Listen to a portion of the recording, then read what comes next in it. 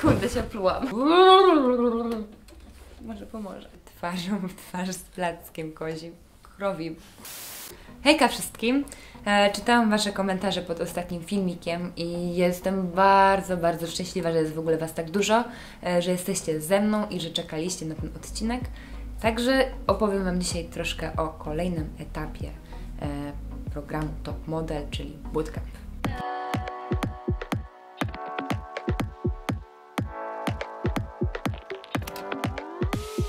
A ci, co nie wiedzą, bootcamp to e, kolejny etap zmagania się uczestników o miejsce w domu top model. Wyobraźcie sobie 60 osób, ty chcesz być tej 15, która dostaje się do domu top model. Czyli co robisz? Walczysz.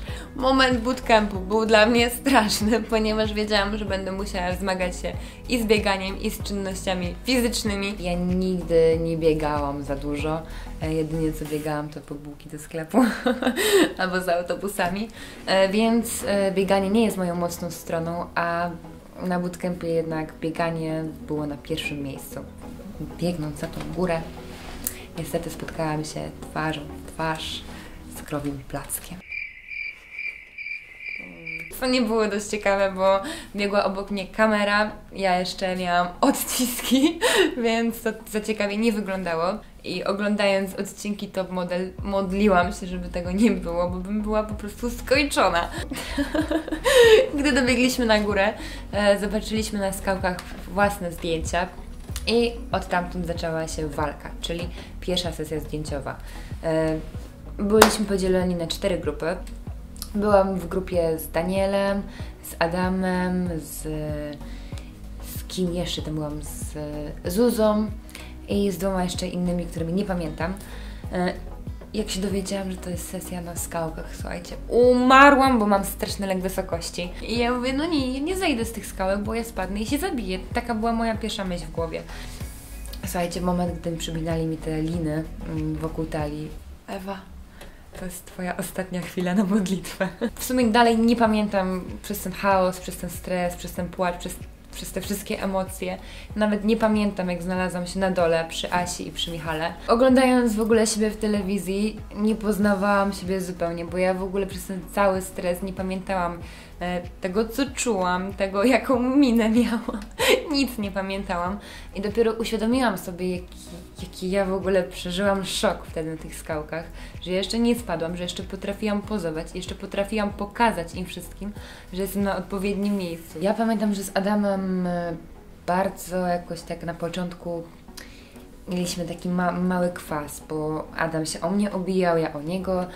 A to, że Adam niby taki waleczny, fighter i w ogóle, e, no to wiadomo, chciał pokazać jako facet, że jest silniejszy, no ale ja sobie nie dałam, e, nie dałam po sobie poznać w ogóle, że jestem e, słabsza, więc wygrałam raczej pozowaniem. Chciałam pokazać chłopakom, że jestem lepsza od nich e, i w momencie, gdy Asia z Michałem powiedzieli, że najlepiej pozuje, poczułam się już taka spokojniejsza i mówię, okej, mam to.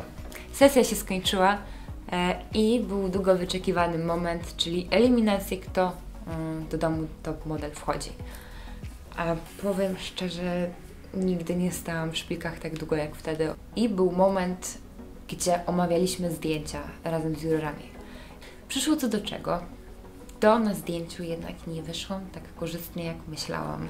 Jurorzy mieli bardzo dużo uwag do tego zdjęcia, e, że noga nie tak, że ręka nie tak, więc już wtedy zwątpiłam siebie dosłownie. E, Byłam przekonana, że nie dostanę się w ogóle do domu top model.